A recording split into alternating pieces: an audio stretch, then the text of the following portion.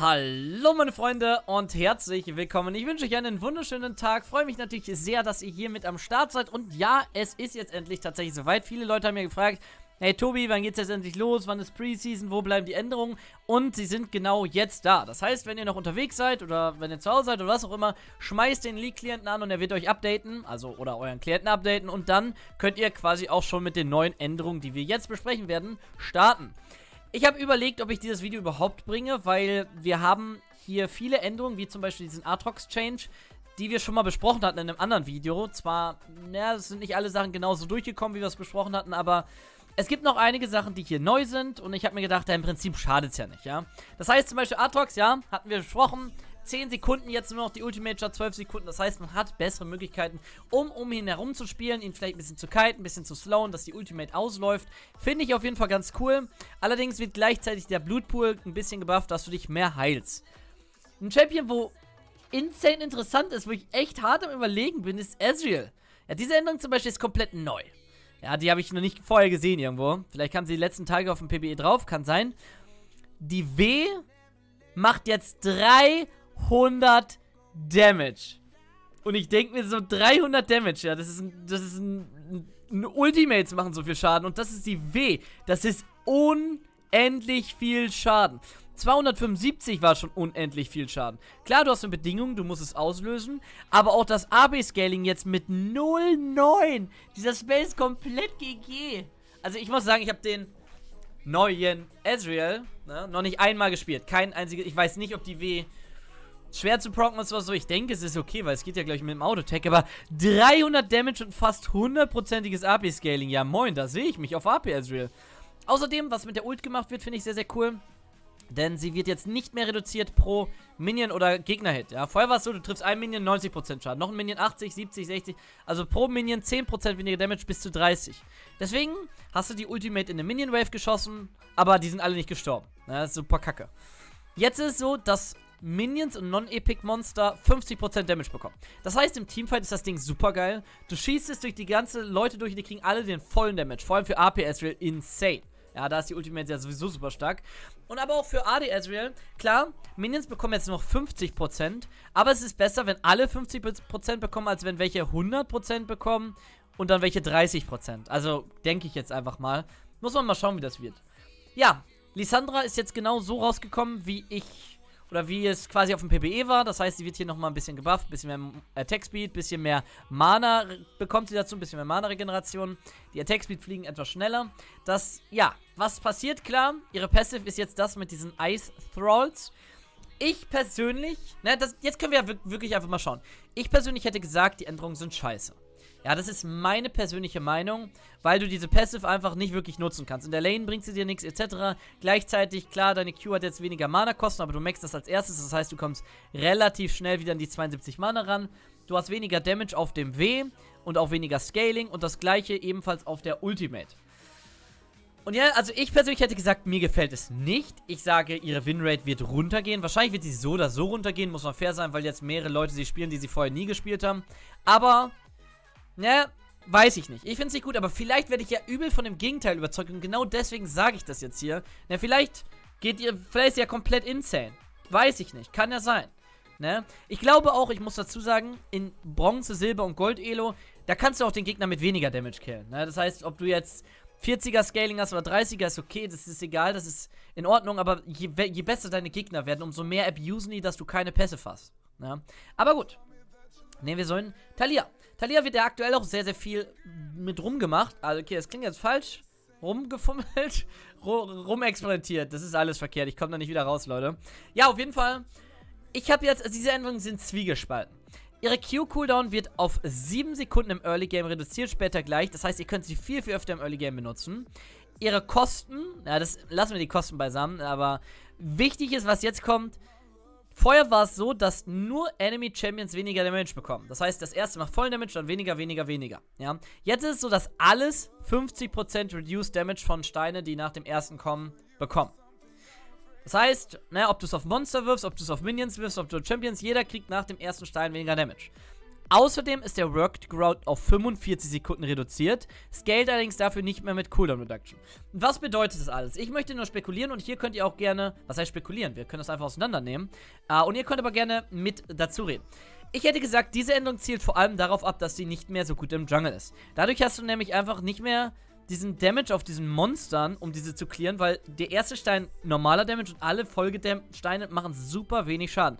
In der Lane ist das nicht ganz so wild, weil du musst die Minions nicht clearen. Nicht direkt auf Level 1, 2, 3. Na, es ist okay. Du hast deine Minions vorne, die Damage machen und du lastet es halt dabei. Im Jungle musst du aber vorankommen und dieser Nerf reduziert dein Clear Speed insane.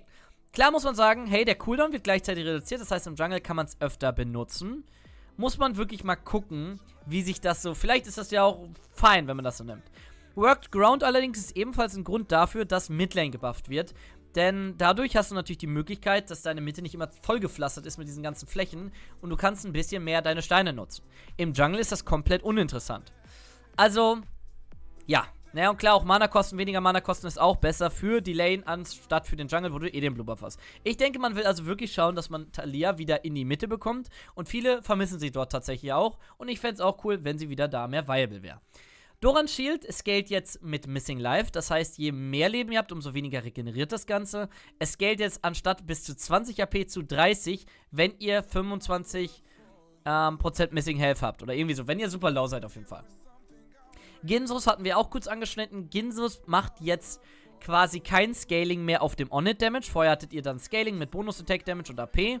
Jetzt ist es so, dass ihr Armor Penetration und Magic Penetration bekommt, bis zu 15%. Finde ich persönlich ziemlich krass. Finde ich persönlich ziemlich krass. Muss man mal sehen, was das wird. Vor allem gleichzeitig auch das Gold reduziert worden. Mm, dafür gibt es eigentlich kein Attack Speed mehr und Ability Power mehr perfekt. Das ist hart. Ne? Ne, stopp mal. Kein Attack Speed, keine AP und keine AD. Okay, das ist hart. Das ist hart. Find's aber okay, weil Champions, die dieses Item bauen, sind meistens komplett gestört. Ja, das heißt, eine Vayne im Late Game, einen Master Yi im Late Game, eine Kale im Late Game, einen Jax im Late Game, wobei auf Jax ist eigentlich nicht so, ist immer komplett gestört. Weiter geht's. Jungle Items. Diese Änderung muss ich sagen, uff. Denn es wird entfernt, es gab ja diese Funnel-Strategie. Funnel, für alle, die es nicht wissen, man fokussiert das ganze Gold auf einen Spieler. Ja, das heißt, es gibt zwei Spieler, zwei Supporter im Prinzip. Einer, der dem ganzen, ne, du gibst quasi äh, dem Midlaner die Mitte und dem Jungle. Und das war die Kurzfassung. Und das wurde quasi, da gab es einen Nerf, das heißt, wenn du die Person mit dem meisten Gold im Team warst, dann hast du weniger Gold für Minions bekommen. Habt ihr vielleicht mal gesehen, habt euch vielleicht mal gewundert, dass ihr auf einmal nur noch 4 Gold für einen Minion bekommen habt. Das Ganze wird jetzt wieder rausgenommen, weil die Mechanik gesagt wird, hey, durch die ganzen Änderungen der Preseason wird das gar kein Problem mehr sein. Und deswegen ist diese plus 4 Gold Mechanik raus. Ja? Das heißt, Funnel auf dem Blatt Papier funktioniert wieder. Sprechen wir gleich drüber. Relic Schild ist jetzt besser auszulösen, uninteressant. Wards kauft eh kein Schwein. Turret Plating. Turret Plating ist jetzt dabei, habe ich ja schon mal erzählt. Das heißt, ein Turm hat jetzt 5000 AP statt 3000. Er macht, viele haben sich beschwert, ja, bringt ja gar nichts, wenn die nicht mehr Damage machen. Ich weiß gar nicht, was ihr für Informationen habt, aber auch Streamer, ähm, der, die machen mehr Damage, Leute. Ne? Die kriegen jetzt auch mehr Damage und haben ein höheres Damage Cap, das heißt bei 280 und ja, für jedes Plating bekommt ihr 150 Gold. Rechnet das euch aus, mal 5. Plus First Blood Turret. Ihr seid Rich Money Making Rich Money Boy mit einem Blaumann an der Tanke. Let's go, Boys. So.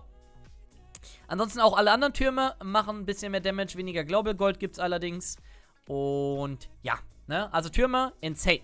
Minions, haben wir auch schon drüber gesprochen, machen, achso übrigens, ja, wie das mit Damage funktioniert. Ja, Dam Türme machen mehr Damage an Minions, aber Türme machen an Minions immer prozentualen Damage. Das heißt, sie machen, ich glaube, auf einen Caster oder auf einen Nahkämpfer, glaube ich, 35%. 35%, 35%. Das heißt, Feuer Autotech, nachher Autotech, Free Win. Das heißt, sie machen immer noch 35%. Da hat sich nichts geändert.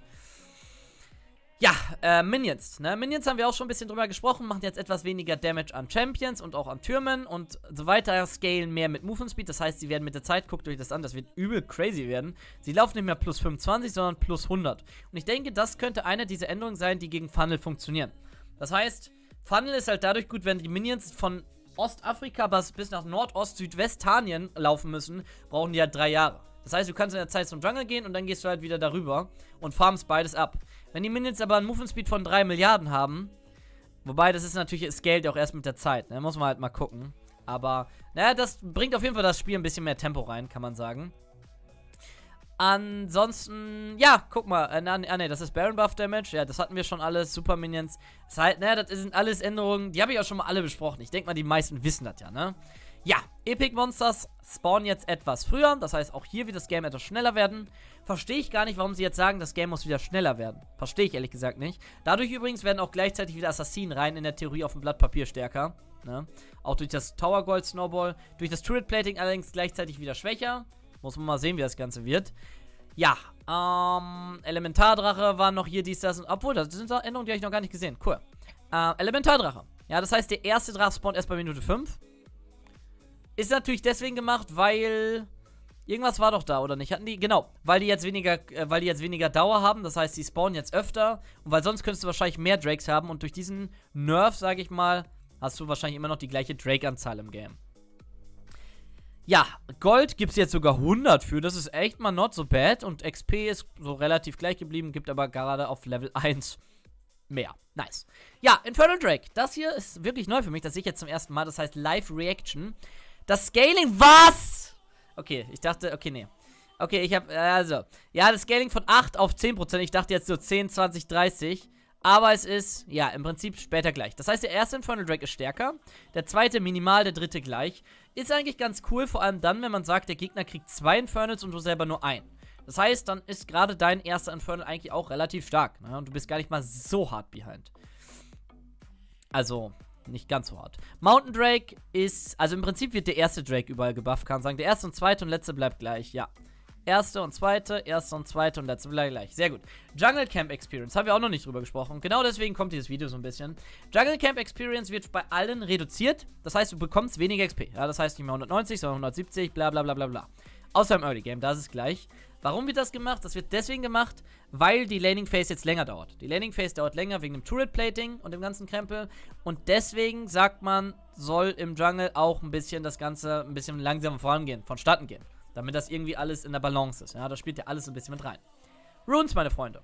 Es gibt ja jetzt Runes. Ich kann mal gucken, ob ich meinen Klienten hier aufmache. Ja, vielleicht könnt ihr es sehen.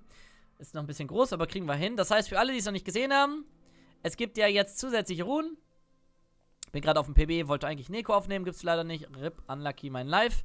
Hier könnt ihr, na, wir machen mal so eine andere, weil hier unten könnt ihr jetzt, ne, hier seht ihr es, könnt ihr jetzt Runen auswählen. Ja, das heißt, ihr könnt jetzt sagen, hey, ich nehme hier 10 AP mit, ich nehme hier 5 Armor mit. Ich nehme hier 6 Magieresistenz mit. Ehrlich gesagt, für mich ein bisschen einen Schritt zurück, weil das System hatten wir schon mal so ähnlich. Mit einer größeren Varianz. Das heißt, du konntest wirklich alles in deine Runen kloppen. Und jetzt kannst du halt nicht mehr so ganz viel verkehrt machen. Aber es ist okay. Ne, ich möchte es jetzt nicht ankreiden. Fleet Footwork Scale schlechter mit AP. Ja, wir rennen ein bisschen. Wir müssen rennen, Leute. Ne? Denn wer nicht rennt, der bleibt halt stehen. Der wird gefressen. Ja? Nicht rennen bleiben oder stehen bleiben, also nicht rennen gleich Lava. So, Movement Speed bei Celerity. Das Ganze ist ja jetzt so, dass es eure Movement Speed Spells verstärkt. Das heißt, wenn ihr Metall und Ultimate an habt, dann lauft ihr schneller und jetzt lauft ihr nochmal um 8% in eurer Ultimate schneller. Macht, gibt euch allerdings kein Damage mehr. Ist kacke. Also auf Talon, ne, du machst Ultimate, du machst Yomus, du hast plus 30, 40 HD. Ist jetzt nicht mehr.